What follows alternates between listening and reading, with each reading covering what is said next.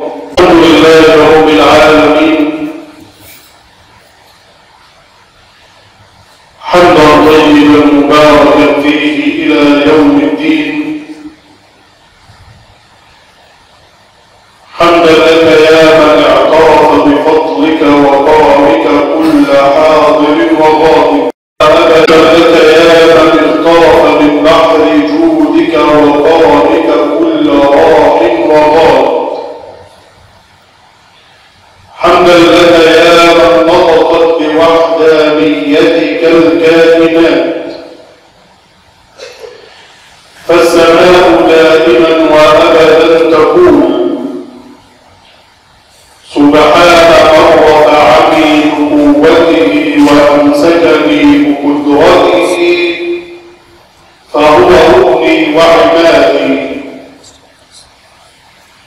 والأرض قادمة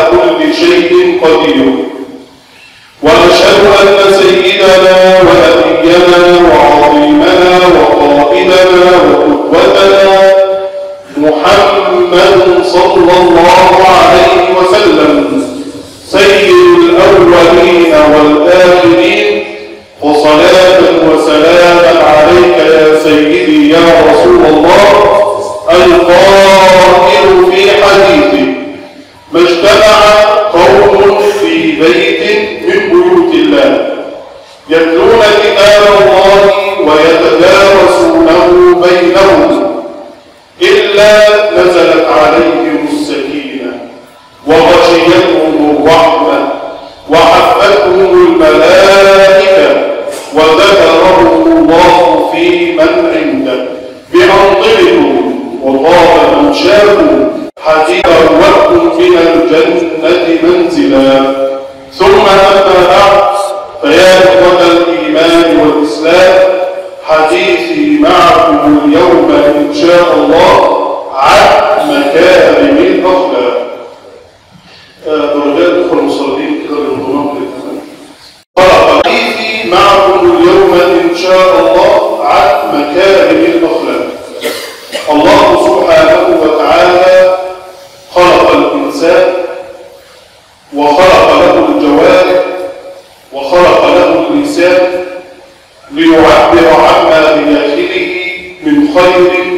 من شر فرح وحزن صحة مرض قال الله عز وجل يا أيها الناس إنا خلقناكم من ذكر وأنثى وجعلناكم شعوبا وقبائل لتعارفوا إن أكرمكم عند الله أتقاكم. الإنسان الخطأ والنسيان والتقصير قال النبي صلى الله عليه وسلم كل آدم خطأ وخير الخطائين التوابون ويقول النبي صلى الله عليه وسلم المؤمن الذي يخالط الناس ويصبر على أذاهم خير عند الله عز وجل. من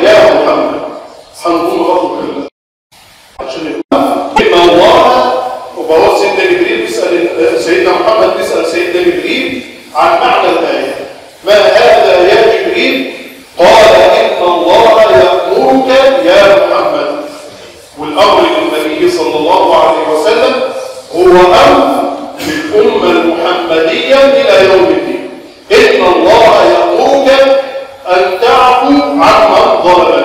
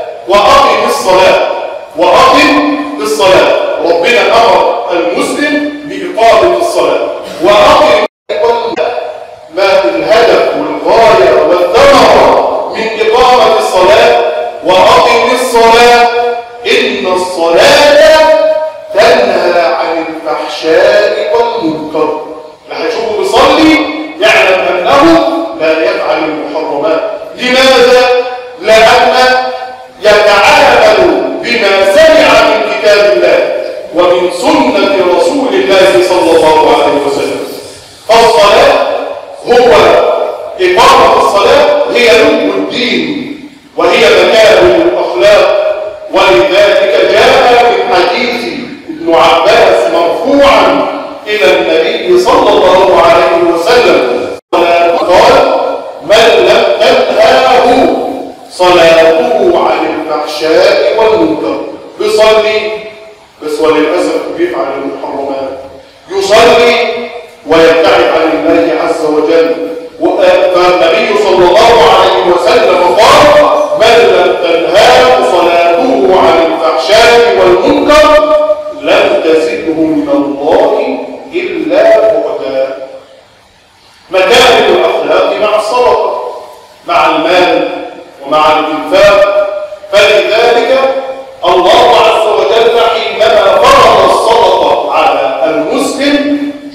فهي غرس لمشاعر الحنان بين الأغنياء والفقراء.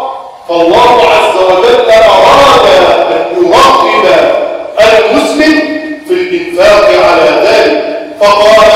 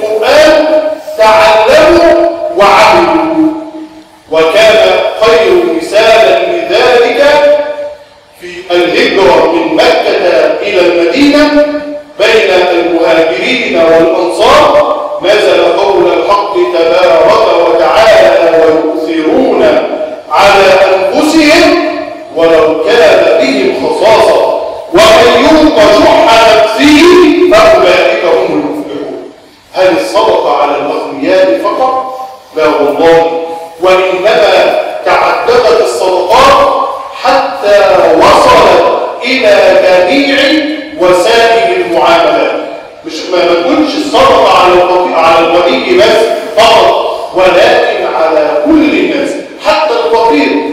فعن أبي هريرة رضي الله عنه قال قال رسول الله صلى الله عليه وسلم كل سلامة من الناس عليه صدقه كل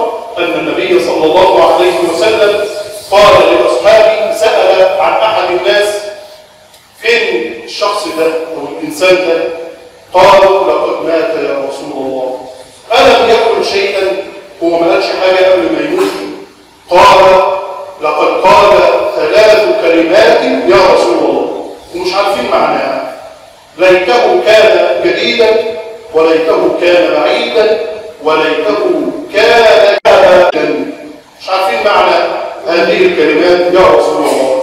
فقال النبي صلى الله عليه وسلم هذا الرجل ذهب لكي يصلي صلاة الفجر. واحد راح يصلي صلاة الفجر. فوجد رجلا كاد البرد البرد أن يقتله. كان يكون شديد البرد. فالرجل كان لابس ثوبين جلبتين واحدة قديمة والثانيه جديدة. فخلع القديمة وأعطاها للفقير. أو الرجل ده اللي كان أميره. فعند مماته رأى ثواب ذلك. ده هو عمل إيه؟ ده مش طلع ماله كله. مش طلع يعني